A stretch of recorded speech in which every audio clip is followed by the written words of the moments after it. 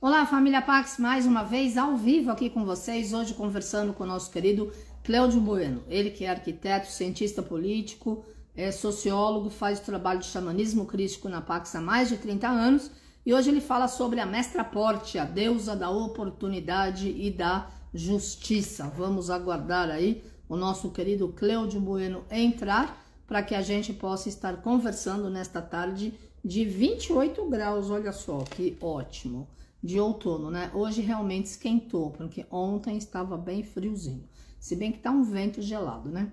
E aí, família Pax, continuamos orando, né? Sustentando as energias de equilíbrio planetário, sobretudo o inconsciente coletivo, principalmente os locais que são afetados pelas manifestações da mãe natureza e por toda essa energia ecológica, né? Que se Deus quiser, vamos curar tudo isso rapidamente e vamos criar a harmonia e a chama que sustenta um novo tempo de paz. Então, oi Silvio, Diego, Celina, Valma, todos, Ana Luz, todos vocês que estão aí com a gente. Glória, gratidão pela sintonia, pela presença. Vamos aguardar então o Bueno entrar para que a gente possa estar conversando Deixa eu ver aqui se eu consigo colocá-lo no ar. Dá, né?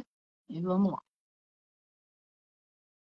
Bom, agora, se Deus quiser, vai dar certo. Atenção, anjinhos da Technology, please. Yes. Tudo bem, Bonito? Tudo. E você, como está? Tudo ótimo. Está me vendo? Não, para variar, né?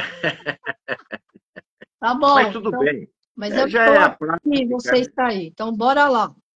Eu estou aqui, estou te ouvindo, vi você antes de, de pedir para você me chamar, eu vi você também, então quer dizer que está tudo em ordem, vamos tocando o barco, né?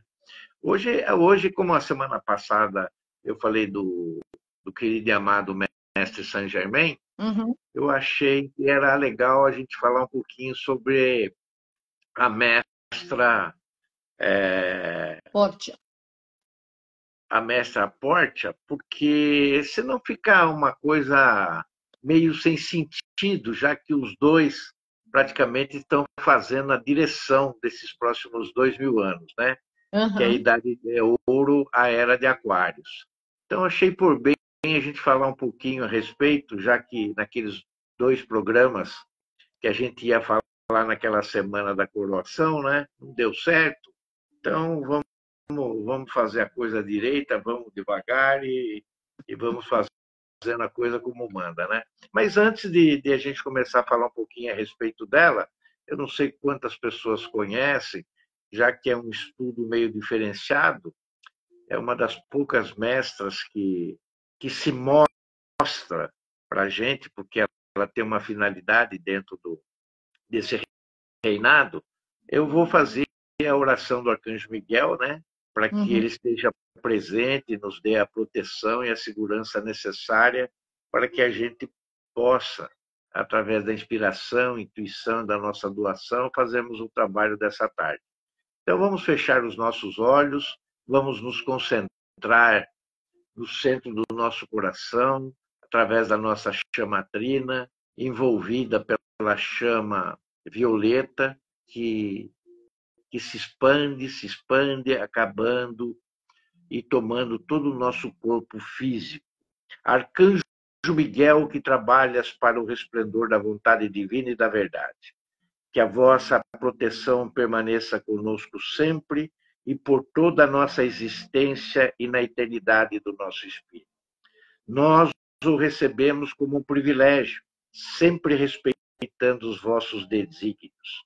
Permiti que nós caminhemos sempre com dignidade e respeito aos nossos irmãos. E afastai de nós as ideias perversas e más ao nosso redor e as influências sombrias. Fazei de nós um servidor da luz que saiba discernir e compreender e nunca julgar. Ajude-nos nos dias ruins, materiais, espirituais, conscientes ou inconscientes, e nos proteja contra todos os males e os expulse da nossa caminhada. Pois a verdade, a coragem, a força e o poder é o vosso signo e o nosso também.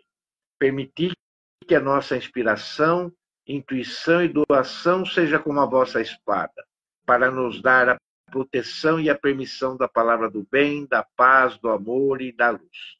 Afastai de nós as pessoas que querem nos induzir aos erros e às falhas, e que o nosso coração esteja ligado ao vosso coração e à vossa energia. Que a nossa verdade possa ser a vossa verdade, e que o vosso escudo seja o anteparo das más qualificações do nosso ego em nossas ações, fazendo assim de nós um mensageiro fiel da suprema verdade da nossa alma. Arcanjo Miguel, protetor da humanidade, dos reinos, da nossa Mãe Terra e de todos nós. Que essa oração possa ser cumprida, ser manifestada aqui e agora e por toda a eternidade. Amém. Amém. Muito bem. Bom, a primeira coisa que a gente tem que esclarecer que entre Pórcia e Pórtia, o nome correto é Pórtia. E ela sempre gosta de se chamar e ser chamada pelo nome correto. Não que quem a chama de Pórtia esteja, vamos dizer assim, é, sendo recriminado por falar a expressão errada do seu nome. Mas é sempre importante falar pelo nome correto e pelo nome que ela gosta de ser chamada. Algumas escolas chamam ela de mestra Portia, né? ou Pórcia, mas ela gosta de ser chamada de Portia, já que o nome correto é esse. Ela sempre está entre dois raios, o raio violeta, que é claro, é o raio predominante dela, né? e o, o raio, vamos dizer assim, rosa. O, o rosa pesa um pouco mais para o lado dela do que o azul, dando um contraste com o mestre Saint Germain, onde o azul nele é um pouco mais forte do que o rosa, já que ela também é do gênero feminino e ele é do gênero masculino. Ela, então, junto com violeta e mais o rosa, tem uma tonalidade um pouco mais voltada para o magenta, como nós chamamos. E o mestre Saint Germain um pouco mais para o, o roxo, né? Já que também é, os dois trabalham unidos pela mesma condição, que é a condição dourada né? porque nós temos que lembrar sempre que nós estamos no planeta Terra. E aqui no planeta Terra, o tronco principal da iluminação e das ascensões, que aqui é predominante, é em cima do raio dourado. Então, nós estamos sempre ao lado do violeta e dourado. No caso do violeta, alguns mais do lado azul, pro roxo, e alguns mais para o lado do rosa, fazendo o roxo magenta ou violeta magenta, mas sempre acompanhado pelo raio dourado. A mestra Portia, ou Lady Portia, que também é chamada, nós temos que lembrar que ela faz parte do Conselho Kármico, é atual presidenta desse Conselho Kármico e também a porta-voz desse conselho. Né? Cada vez que o conselho se reúne, além dela presidir o conselho, ela dá a decisão do conselho. Ela é porta-voz desse conselho. Muito bem. É muito difícil de falar das encarnações da Mestra Porta. Uma vez, eu acho que até inclusive deve estar em algum lugar, porque eu já falei sobre isso, né? e eu não gostaria de ficar repetindo as encarnações da Mestra Portia, mas a gente tem que lembrar que a sua principal encarnação ela foi na Atlântida, e uhum. foi ali na Atlântida que ela ascendeu. Então, a sua data, vamos dizer assim, de ascensão, de iluminação, ela não é muito difundida. Né? Alguns dizem que é no dia 29 de outubro mas a maioria de nós sabemos né, que é o dia dos arcanjos e principalmente do arcanjo Miguel. Eu gosto sempre de fazer a homenagem de ascensão e de iluminação, a mestra Portia, ou a lei de Portia, eu gosto muito de fazer no dia 9 é, é, de abril, porque foi no dia 9 de abril de 1939 que ela, pela primeira vez, fez as suas mensagens chegarem até nós. Lembrando né, que em 1930 o mestre Saint Germain já tinha feito isso. Né? Tinha vindo através de um canal, que todos nós nos lembramos, é o senhor Guy Ballard, ou Guy Ballard, como alguns gostam de chamar, né? que ali o mestre se apresentou a ele, trazendo também a chama violeta. E logo na sequência foi então feito, através de todos os papéis necessários, a fundação O Eu Sou, que também é chamada de Fundação AIEB. O mesmo canal, em 9 de abril, recebe, só que em 1939, recebe esse canal as mensagens da Mestre Aporte. Então, através desse canal, ela começa a mostrar todo o seu trabalho para todos nós que estamos aqui no planeta Terra. A, a, a história, então, da lei de Portia, ou da mestra Portia, ela vem durante o tempo que ela estava na Atlântida. Ali, a lady, ou a mestra, ela trabalha com grandes sacerdotisas no, tem, no tempo de Poseidon. Né? Nós temos que lembrar que Poseidon, na verdade, é aquele ser onde controla praticamente todos os, os oceanos e todos os mares. Né? E, e, e, Atlântida ficava numa, numa, numa porção de água ali no Atlântico que referendava, na época, os dois continentes, né? o velho e o novo. Né? E ali ficou, inclusive, uma, uma, uma condição de trabalho para ela, de linhas e de dons espirituais altamente desenvolvidos, aonde ela poderia escanear tudo aquilo que poderia estar acontecendo no velho para que possa, possa poderia ser semeado, enraizado e para depois ser colhido no novo mundo. Ali ela estava, então, entre dois mundos no qual ela iria e continua a trabalhar. Isso fazendo com que todos pudessem ver com mais clareza as verdades que ela trazia durante todos os seus ensinamentos, todo o processo ritualístico que ela tinha e cerimonial. Porque tudo isso também, naquela época, se fazia presente através da aura e principalmente do corpo causal, aonde ali é, mostrava todas as orbes com a luz dourada. Ali, o pragmatismo dos raios, principalmente dos 12 raios, que todos nós trazemos no corpo causal, no caso dela, é como ela já era ascensionada, esses, cor esses corpos, né, os 12 corpos causal, se transformaram em simplesmente na luz cintilante e dourada. Nós temos que lembrar também que lá pelo século XI, já dentro do Velho Mundo, ela teve uma linhagem real na Itália. Essa, essa linhagem real na Itália que ela teve, ela começou a dar conta e a perceber que o povo daquela época sofria muitos castigos e, e eram feitas as suas transformações e transmutações não aqui na Terra, mas durante a passagem de um plano dimensional para outro.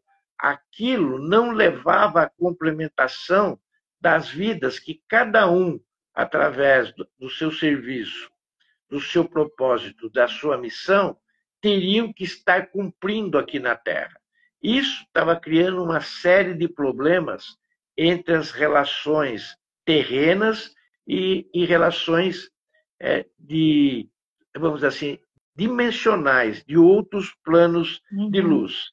Ali, naquela ocasião, não existia nada, nada em relação aos rumos justos, harmoniosos e equilibrados. Na verdade, o que se tinha era injustiças formadas através de julgamentos, mas não de uma forma, vamos dizer assim, justa, não dentro de regras, não dentro de normas ou de leis. Então, é, as pessoas, principalmente através de questões políticas, que sempre aconteceram e ainda acontecem nos dias de hoje, né, onde os julgamentos, às vezes, não são feitos baseados na própria justiça, e sim nos interesses, sejam eles quais forem. Né? Mas geralmente são interesses políticos, econômicos e sociais, de envergaduras onde o poder está inserido daqueles que comandam, né? vamos dizer assim, o governo do local, seja ele municipal, seja ele estadual, ou seja ele federal, nos âmbitos que nós temos agora. Imagine no século XI, quando as coisas eram feitas dentro de uma aldeia, dentro de uma vila. Qual eram os homens poderosos daquela época que faziam julgamentos ao seu bem ou bom prazer, de acordo com aquilo que estava ou não é, os seus interesses.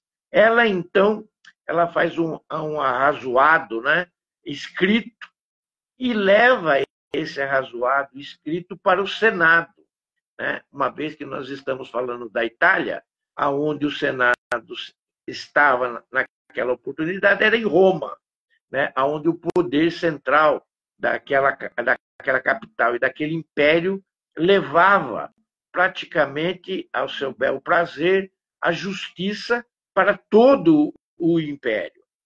E isso acabou demonstrando pelo arrazoado dela que ela levou esse manuscrito para o Senado, aonde começou a se estabelecer as primeiras leis para as pessoas irem para os seus julgamentos. Isso serviu como base para tudo que nós temos hoje em dia. É claro que isso foi sendo atualizado através dos tempos, mas essa base ainda permanece. Em relação à espiritualidade, nós temos que falar que ela, através do conselho kármico e representando o sétimo raio, ela leva como porta-voz principalmente essa questão da justiça divina. Ela que é a deusa da oportunidade e da justiça. Como é uma deusa que leva isso, no qual ela recebe a sua ascensão e recebe a sua eliminação, principalmente através dessas duas virtudes, ela ainda complementa através do sexto raio, né, da chama rubi dourada, toda a questão das virtudes do sétimo raio, principalmente a do perdão, a da misericórdia, a da compaixão, a da liberdade, a da transmutação, da ritualística e principalmente do ritmo. Ali, Mestre Aportia mostra, através de toda a sua situação, de, das vidas que ela teve, principalmente uma que ela teve na Inglaterra, como Bocara, ela mostra todas as condições voltadas para liberar todos aqueles que estão encarnados uma, uma situação de injustiça e de liberação junto ao Conselho Kármico do poder crístico, aonde ela também ajudou no desenvolvimento crístico de todos os nossos antepassados e de todos os nossos ancestrais, levando sempre em conta que essas virtudes foram sempre colocadas por ela em todos os momentos que ela teve em relação à sua existência e na ajuda aqui dessa energia dourada que ela é a portadora dessa consciência, principalmente em liberação aos 13 filamentos do DNA que nós trazemos sempre e que deveríamos ser portadores da alegria, da gratidão entre o amor, a paz e a luz. A mestra Porta, na verdade, ela, através da sua concepção, ela se mostra com cabelos ruivos, só para vocês terem uma ideia de como ela se porta para todos nós e para aqueles que têm uma certa evidência, já que ela não aparece muito também, como eu disse anteriormente, mas ela tem cabelos ruivos, ela tem olhos calorosos e claros, e o terceiro olho dela brilha com uma luz totalmente voltada para a coroa do seu chakra, que é o cardíaco. Então, uma sintonia perfeita entre o seu terceiro olho e o chakra cardíaco, mostrando uma luz esverdeada junto com uma luz azul clara, lembrando muito as cores da pedra turquesa. Nós temos que lembrar que o chakra do terceiro olho, que é um chakra de cor azul índico, mas no caso da mestra Portia, ela é esverdeada. E isso acontece muito quando a pessoa é desperta e começa a caminhar por outras dimensões, fazendo uma circulação é, do caminho espiritual até a ascensão. Lembrando que na parte do chakra da coroa, o que ela tem é, na verdade, as cores da justiça, o chakra cardíaco. Então, é um equilíbrio entre essa justiça de Deus, Pai e Mãe. E ela foi a primeira a introduzir aquilo que nós chamamos da balança da justiça, já que o azul é representado nesse caso, né, ali fazendo essa contrapartida com o verde, às vezes a gente acha que o nosso chakra cardíaco é rosa, mas na verdade ele é verde, e ali o azul faz uma comunicação divina com o conselho kármico. Então, o conselho kármico está sempre presente diante de todos nós através dela. E o raio dourado, como eu já disse, ele brilha acima da cabeça, enquanto a questão da orbe branca porque todos nós somos filhos da luz branca estamos aqui reverenciando alguns serviços, alguma, alguns propósitos e algumas missões de acordo com o raio que nós trouxemos para aprendermos as lições. Mas todos nós somos oriundos do raio branco, aonde tem todas as cores, inclusive a divina presença eu sou, né, que eu já mostrei aqui uma vez, ela sai com aquele cone, né? Como se fosse um, uma, um, uma peça de cristal, né? Aonde nós todos somos envolvidos. Ali, então, essa orbe branca é uma pura purificação desse ser, hum. que ela também, quando está muito próximo nas questões de justiça, quando nós estamos precisando, ela reverbera as cores necessárias para que a justiça seja feita. Uma vez que ela também é deusa da oportunidade, e aí ela se apresenta mais como complemento do querido e amado Mestre Saint Germain, ela tem uma parceria direta, não só com ele, por ser sua alma gêmea, mas também e principalmente com a mãe Kuan A mãe Kuan de quem tenha sido os últimos dois mil anos, ali presente naquele raio violeta. E elas são muito próximas, já que ela também, a mãe Guanin, faz parte do Conselho Kármico. E lembrando que o Conselho ele é através de, uma, de um processo estelar. E esse processo estelar, ele sempre busca o logo crístico, que é a restauração da energia crística original, que, é a presença divina eu sou. É a presença divina eu sou que é, na verdade, o nosso eu perfeito. Mas esse nosso eu é o sagrado, que também está dentro de nós. Só que cada degrau que nós subimos, a nossa expectativa é que nós nos aproximemos desse, desse santo ser crístico, que é aquele que vai nos encaminhar à presença divina eu sou. O mestre Saint Germain chama também o santo ser crístico de eu superior. Uhum. É aquele ser que todos nós conhecemos como anjo da guarda, ou o anjo do pergaminho, o anjo dos registros, né? Ah, o anjo do registro é aquele que tem todas as nossas vidas. E o anjo do pergaminho é aquele que está nos acompanhando nessa vida e retratando e escrevendo todos os nossos karmas ou dharmas. Sim. Os karmas são o lado negativo das coisas e os dharmas são as coisas positivas. E ali fica muito mais claro para quem está dentro do conselho kármico que acontece de três em três meses, né? quatro vezes durante o ano, para que saibamos se nós estamos cumprindo com as nossas obrigações ou não. E ali as coisas são corrigidas, se nós estivermos fora dessa linha. Caso contrário, a bem-amada mestra Portia, como ela está a serviço da chama violeta, da justiça, da liberdade e da misericórdia, do perdão, da alquimia e principalmente das coisas ritualísticas e cerimonialistas, o que ela faz?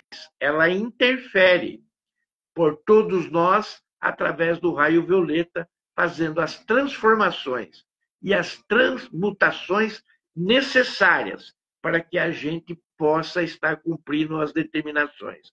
Mas ela não faz isso apenas para cada um individualmente. Ela faz isso também para grupos. Uhum. E além de fazer isso para grupos, ela faz também para raças e também faz para povos.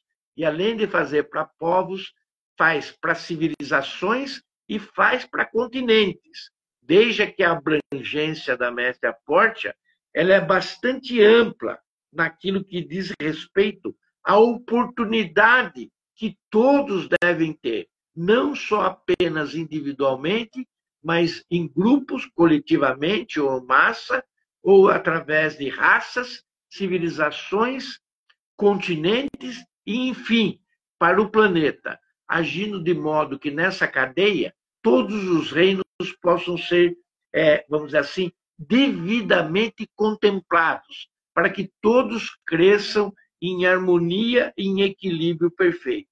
Portanto, ela age através das falanges. As falanges são pequenos grupos espiritualistas de, de, de, com determinados tipos de energia, aonde se faz presente para a humanidade e trazendo o brilho de cada um de nós dentro desses grupos, uhum. aonde possamos trazer o calor da, a, da harmonia e principalmente do amor, aonde se justifica o aumento da nossa autoestima baseado em todos os processos judiciais que qualquer um dessas, desses grupos ou dessas raças ou dessas civilizações ou através dos continentes possam fazer a justiça necessária.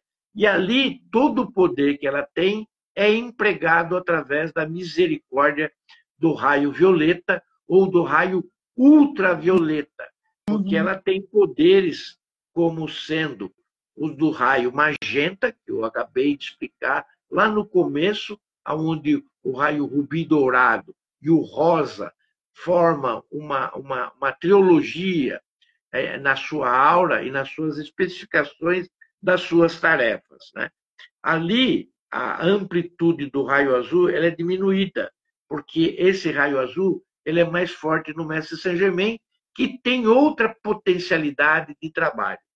É engraçado a gente falar sobre isso, porque através do conselho kármico, a, mostra, a mestra Portia, ela mo mostra que ela não é, além de ser a presidenta e a porta-voz, claro, tem um peso maior uhum.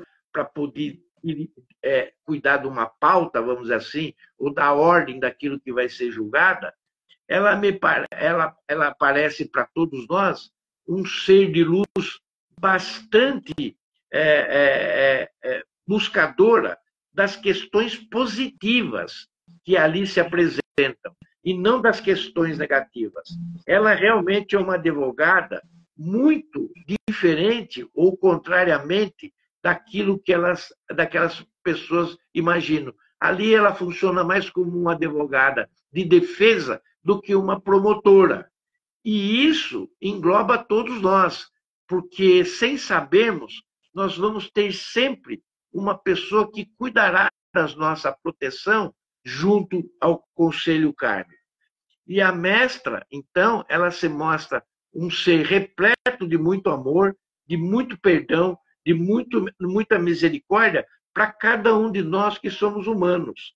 E ali ela representa também a, a, a chama da mãe, da mãe do raio da justiça, da mãe do raio que perdoa e protege os seus filhos. E ali nós encontramos, vamos dizer assim, é, um seio aonde todos nós podemos colocar a nossa fronte de cada expectativa ou de cada injustiça ou de cada mágoa que nós sofremos através das frustrações desse mundo de ilusão a qual todos nós estamos sujeitos. E ali o perdão é muito maior para aqueles que estão a caminho da ascensão. Você precisa estar nesse caminho. Você precisa se libertar e saber que no seu despertar você não vive esse mundo da ilusão material, uhum. mas que você está no caminho da espiritualidade. Então você ganha aquele, não vou dizer o abraço, mas eu vou dizer aquela ternura, né, do aconchego que toda mãe nos dá. Ela também, além de, de, de fazer todo esse trabalho, ela serve também à hierarquia de Libra. Por que Libra? É justamente a Libra aonde se traz o prenúncio do simbolismo da balança, aonde traz o simbolismo da balança que ali é feita a justiça. Isso mostra para todos nós que ela teve todos os seus ensinamentos e a sua maestria na questão da justiça lá na hierarquia de Libra. Diferente da nossa hierarquia, aqui onde nós homenageamos todos os seres de luz que compõem os nossos ensinamentos, o nosso conhecimento, as nossas informações, que é a grande fraternidade branca do qual ela pertence, mas nós temos que saber que ela também faz parte de outras 12 hierarquias solares, e principalmente essa de Libra, né? aonde ali também está presente né? a ordem de Esmeralda, a ordem da Esmeralda, do qual ela também fez parte. Então, todo esse corpo e equilíbrio e harmonia do campo etérico ela traz aqui aquilo que nós chamamos de nova era, né? que é o momento desses dois mil anos que todos nós estaremos vivendo. Mas isso com acertos de polaridade, lembrando que todos nós temos a polaridade masculina e a polaridade feminina, e que num certo momento da nossa história isso não estava em equilíbrio. E isso não estava em harmonia. Muito pelo contrário. Nós tínhamos, nós que somos homens, tínhamos mais a presença do raio azul mostrando a nossa força, uhum. mostrando o nosso poder, a nossa coragem, a nossa força de vontade. E claro que a energia feminina, em tempos imemoriais atrás, isso era dado pelo raio rosa, o rubi dourado aonde a majestosidade do amor, da misericórdia, da compaixão, da beleza em si era mais compactuado com a energia das mulheres. Essa energia feminina, então, ela era um pouco desbalanceada. a mestra Portia, através de todos os anos, e principalmente nesses últimos 70 anos, é quando ela assume, junto com o mestre Saint-Germain, no dia 1 de maio de 1954, a sua coroação e o seu reinado, ela diminui isso aceleradamente, uhum. mostrando então que essa polaridade ela diminui de tal maneira que ali começa a aparecer casos diferenciados em corpos, tanto masculino como em corpos feminino, trazendo porcentagens diferenciadas dessa energia. Lembrando sempre que a questão da homossexualidade é uma questão da realidade que não tem nada a ver com esse equilíbrio que eu estou falando agora dos nossos corpos, aonde nós teríamos que ter harmonia de 50% para cada lado, tanto nos corpos femininos como nos corpos masculinos. E que essa relação desse descompasso que se mostra nesse momento, ele é conduzido única e exclusivamente através de sentimentos, onde nós estarmos preparados ou não para que todas essas condições possam nos levar à condição de sermos pais e mães, tanto sendo feito um casal masculino como um casal feminino. Essa porcentagem e essa brilhante sensação de igualdade é que nos traz ao mesmo tempo a todos nós sabemos que nós devemos colocar o amor, o amar em primeira situação, para que todos nós, homens e mulheres, possamos ser reconhecidos através da nossa sensibilidade, do nosso equilíbrio e da nossa harmonia da alma, da alma, repito, da alma. A questão dos corpos, eles são diferenciados, cada um a sua razão e a sua sensibilidade. Já que o amado mestre Saint-Germain também, ele foi e se mostra compassivo com essa reorganização entre os seres humanos. E ele e ela são portadores nesses próximos dois mil anos da era de Aquários, né? a era também de ouro, para que seja feito o maior número possível de ascensionamentos, coisa que desde a primeira é, vinda dos grandes mestres, 144 mil, e depois da, da presença do arcanjo Miguel, junto com a sua alma gêmea, no seu primeiro reinado, que seria do raio azul, do qual aquela coroa é acentuado na coroação até hoje daqueles que assumem os, dois, os próximos dois mil anos, é que fazem a razão dessa busca, é, vamos dizer assim, de ascensionamentos em massa, eu acredito. E ele vai fazer nesses próximos dois mil anos, e isso é um comprometimento que eles assumiram de fazer isso numa escala que jamais foi visto até hoje no planeta Terra. Então, eu imagino qual é a grande missão desses dois seres para a humanidade. Acredito até que nos próximos dois mil anos, a intenção dos dois e de todo o agrupamento da grande fraternidade branca e de todos os seres que acompanham esse projeto, esse planejamento, é que não tenha mais ninguém aqui, visto como ele é, determinado, persuasivo, os dois, que façam esse encaminhamento do planeta Terra, nos próximos dois mil anos não, ter, não teremos mais ninguém aqui que ainda não esteja iluminado. Fora isso, a esse trabalho que eu já chamo de redenção, é eu estou chamando, eu chamo de redenção.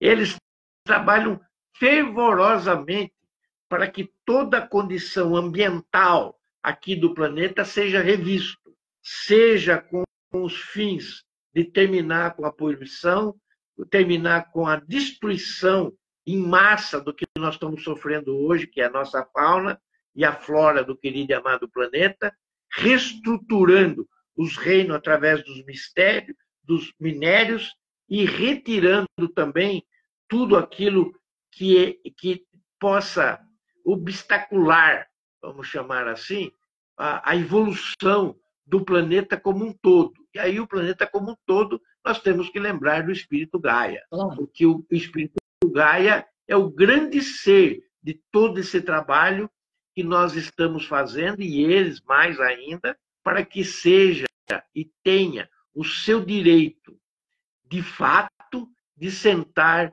na Confederação Intergaláctica. Nós fazemos parte da Confederação Galáctica, mas nós queremos entrar na Intergaláctica. E para entrarmos na Intergaláctica, nós temos que levar o nosso planeta aos termos ascensionais e de iluminação de tudo aquilo que acontece dentro do planeta. Sim. Senão, Gaia já tinha se iluminado e tinha caído fora daqui. Mas não, ela depende de nós. Enquanto nós estivermos aqui e não tivermos a consciência né, crística ou a consciência cósmica para isso, nós não atingiremos essa questão. E como, como eu disse anteriormente, nós devemos lembrar também que numa das ascensões, é, é, uma das ascensões, uma das encarnações da mestra Portia, ela teve no Saara, aonde um, um, um dos maiores reinos que aconteceu na, na Terra estava sob o domínio do querido e amado mestre Saint-Germain, que era rei ali naquele, naquele momento, né? dentro daquele reinado que existia no Saara. E ali, numa altura remota daquela época, né? Ali no Saara, e nós devemos lembrar que a configuração terrena de continentes eram completamente diferente do que agora. Nós temos que lembrar que tanto Lemúria quanto Atlântida são submergidas, elas afundam. A, a questão planetária de distribuição dos oceanos e dos continentes são modificados. E eles são modificados pelo primeiro raio, pelo querido e amado mestre Elmória Khan aonde ele, além de toda a supremacia do governo oculto que impera todos os governos que nós temos na Terra, ele também trabalha todas as placas é, tectônicas que nós temos nesse planeta. Então, qualquer mudança das placas, qualquer mudança de, te, de, de temperatura, de clima, é transformada por esse raio, pelo raio azul. Uhum que é o raio do Pai. Né? Então, nós devemos lembrar sempre que o mestre Saint Germain e a mestra Porta trabalham unificadamente e se comprometeram, através do complemento divino de um e de outro, a trabalhar em cima disso. E o grande trabalho que é feito em cima disso é feito pela mestra Porte. De que maneira? Através do seu silêncio. Ela é uma mestra completa na questão do silêncio e da meditação. E é através do silêncio e da meditação que tudo isso que tem que ser feito através das mudanças de continente, de civilizações, de povos, de raças, né? e individualmente, é feito por ela, através do seu silêncio e através da sua meditação. Ali, ela mostra que desde da ascensão do mestre Saint-Germain, que aconteceu também no dia 1 de maio de 1684, e ela, que já havia ascensionado lá atrás, em Atlântida, fica esse período todo de lá, que nós não sabemos quantos séculos se deu. De lá, da Atlântida, uhum. até 1684, em silêncio, em profunda meditação, para que o mestre pudesse alcançar o seu êxito. E ali fica muito claro, através daquela encarnação que eu falei a semana passada, do mestre Saint Germain, como Shakespeare, ele faz uma peça ali chamada O Mercador de Veneza, aonde ele consagra totalmente a sua chama gêmea, que é a Mestra Portia, fazendo ali todo um encontro amoroso entre os dois, mas dentro desse estado aonde ela se encontra, que é das oitavas de luz, através do seu silêncio e através da meditação. E que só fica mais claro isso na altura da coroação, aonde cada um no sétimo raio recebe a coroa, o cetro, o manto e a espada para serem diretores ou chorrãs, como muitos gostam de chamar, né, do sétimo raio, que é o raio violeta. Ali, naturalmente, eles se encontram e toda a purificação é feita através das suas auras e o congraçamento dos serviços, do propósito e das missões que ele tem que ter. Houve uma presença efetiva da Mestre Apórtia encarnada aqui no planeta Terra? Teve sim. E foi justamente ali, próximo ao reinado do Luís XV e do Luís XVI, aonde o conde é, de Saint-Germain estava muito presente e atuante através da Revolução é, é, Francesa. E ali, justamente, através de todo aquele processo que aconteceu na Revolução, existem é, depoimentos, declarações, através da Madame Ademar, aonde deixa os seus feitos por escrito, falando exatamente de encontros com o mestre Saint-Germain em diferentes épocas, né? principalmente ali aonde aconteceu algumas coisas que a gente vai pular, porque não é muito bom a gente falar da Revolução Francesa. Ali teve muito sangue desperdiçado, muitas vidas perdidas, e principalmente em 1793, na Praça da Revolução, aonde a mestra Porta estava presente e viu, inclusive, a decapitação da rainha Maria Antonieta sendo executada ali na guilhotina. E aquilo realmente é, encheu tanto o coração da mestra Portia que no momento do ocorrido ela abraça a alma de Maria Antonieta e leva ao templo da caverna de luz do grande diretor divino lá na Índia e restaura toda a prática envolvida ali na Revolução Francesa. Eu acredito até que o mestre fez muito isso junto com a mestre Aportia. E ela poucas vezes chegou a colocar o seu pé no planeta, já que o trabalho dela é em relação a ajudar a humanidade. E ali, nessa meditação profunda, nesses momentos onde o planeta e a humanidade pedem socorro, é onde a força dela, através dessa amada mestra, ela se apresenta em função de todo o silêncio que ela fez, desde Atlântida até 1684, e esse processo de meditação, reunindo todo o seu poder, toda a sua força amorosa para que a humanidade pudesse receber a humanidade e o planeta, né? Sim. né? Não vamos esquecer do planeta. Receber toda essa, for toda essa força e todo esse carinho que ela tem através da sua balança, aonde os julgamentos são feitos através do plenário que ela preside, que é o Conselho Kármico. Diante de tudo isso, do positivo e do negativo, é claro que nós estaremos sempre através do positivo. E em função dessa chama violeta da misericórdia, do perdão, do ritmo, da transmutação, da liberdade, ela é conhecida não só por ser a deusa da justiça, mas também pela oportunidade que são oferecidas no, no, no crescimento e no desenvolvimento de toda a libertação do ser humano, já que nós queremos ser seres né? Nós queremos que essa parte humana ela caia da página.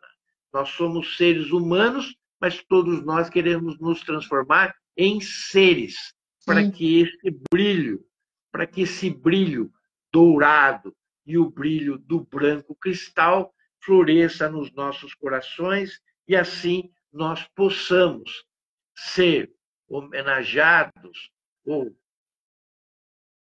ou quem sabe até gloriosamente passados os nossos testes de iniciações e recebendo ainda as nossas dádivas e as nossas vitórias da luz ainda nessas nossas encarnações. Tudo isso ela sempre nos explica através das suas lições, através dos seus exemplos, no seu templo principal. E o seu templo principal fica lá na Romênia, fica lá na Romênia, sobre os montes Carpatos. Aqueles que nos seguem sempre através da, da Rádio Vibe Mundial, sabe que ali nós sempre estamos falando de toda a estrutura espiritual de serviços ao nosso planeta. E ali nós falamos das músicas que são tocadas nesses templos, nós falamos aonde esses templos estão localizados, quais são as virtudes que são ensinadas nesses templos, quem são os mestres ou os seres de luz que receberam as denominações para esses ensinamentos. Nós gostaríamos, então, de, eu não sei, pode ser que tenha muitas perguntas, mas uma das coisas primordiais da mestra Portia é que ela se comunica muito através de cartas. E na fundação, através das, das, das pérolas, né? as pérolas de ouro, é sempre denominado como cartas. Né?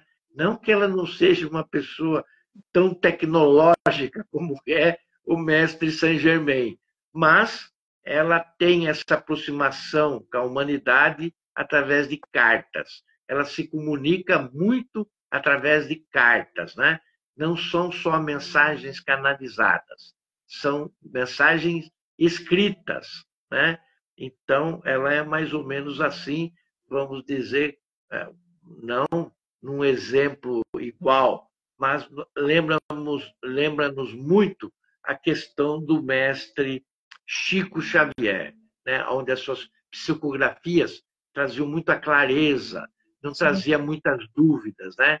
traziam principalmente esclarecimentos. Na sincronia com outras filosofias, com outras religiões, e vamos pegar aqui a Umbanda, ela tem muito, muita relação com os pretos velhos e principalmente com Xangô, já que Xangô é um ser de luz que trabalha especificamente através orixá, através da justiça, aonde ela reina sublimamente entre a grande fraternidade branca.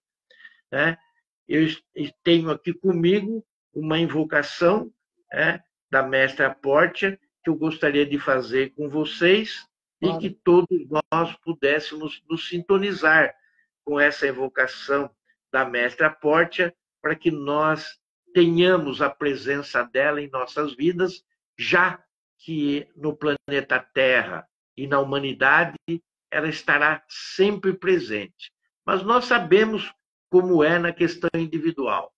A gente sempre vai ter, não deveríamos, mas a gente sempre vai ter a preferência de um ser de luz, né, que nos é mais empático na nossa vida e que nós sempre tenhamos um momento de oração essa querida e amada mestra.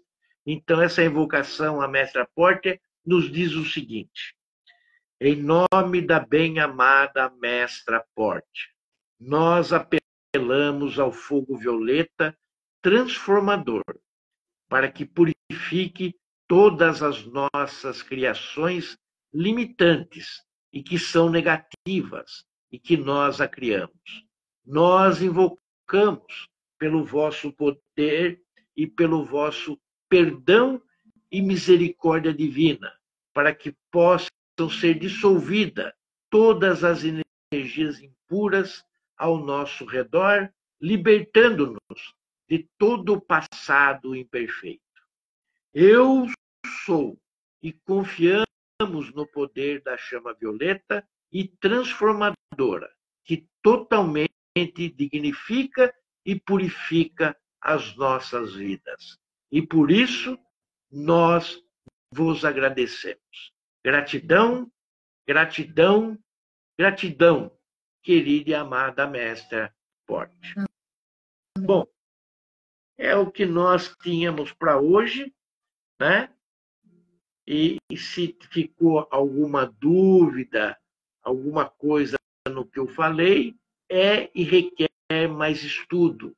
Né? São poucas as coisas que nós encontramos da mestra Aporte. Ela simplesmente é uma mestra do simples, da humildade, mas que tem um grande poder baseado em todo o tempo que ela ficou ali em silêncio e em meditação. Isso acrescentou-lhe uma força descomunal, a qual pôde trazê-la junto ao querido e amado Mestre Saint Germain, como sua alma gêmea, para esse momento histórico que todos nós estamos vivendo agora, aqui no planeta Terra, em apenas, em apenas 70 anos em apenas 70 anos.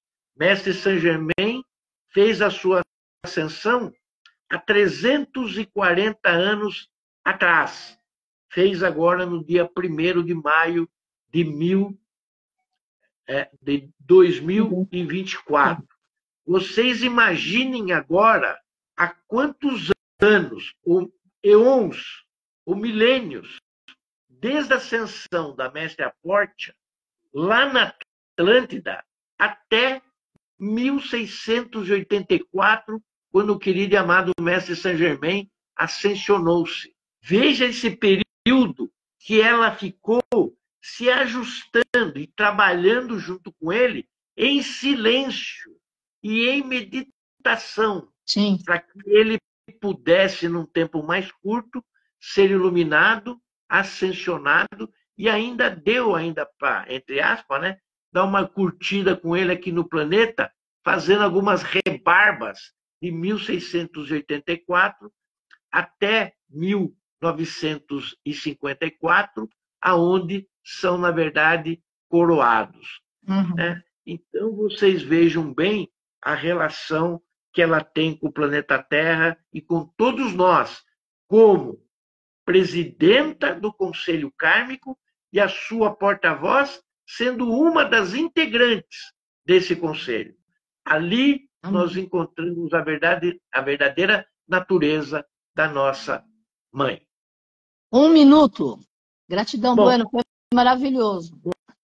Bom, em um minuto eu só quero agradecer você pelo convite e pela oportunidade que nos deu da gente estar tá falando desses dois grandes seres que são o querido e amado Mestre Saint Germain e a Mestre Portia, aonde eu devo a minha presença aqui, já que eu me apresentei diante do Conselho Kármico com um projeto, esse projeto certamente foi aprovado, porque senão eu não estaria aqui. Só espero que eu esteja andando na linha, né? Só espero isso. Quero desejar a todos, né, um, um, um final de quinta-feira maravilhoso, né? Me parece que vamos entrar amanhã, no final de semana, com muita, com muito sol, com Amém. muita luz, né? Deve fazer, um, deve fazer um final de semana maravilhoso. Que todos estejam conosco no sábado. Não sei se você falou, mas nós Não. temos aí mais uma vivência no Zoom, né? No próximo sábado, preparando as alas que vai ser na próxima quinta-feira. Então o mestre pediu que a gente fizesse esse Zoom nesse próximo sábado e também estaremos no, no Encontros com Saint Germain na Vibe Mundial, a rádio que toca a sua vida. Desejando a todos no domingo, entrando numa semana bastante iluminada, com muita saúde, com muita proteção a todos nós, aos seus familiares e com muito trabalho, cercado de alegrias e gratidões na confiança e na fé dos nossos corações. Gratidão, Carmen. Gratidão, gratidão. Gratidão, Bueno, foi maravilhoso. Gratidão, namastê, família Pax.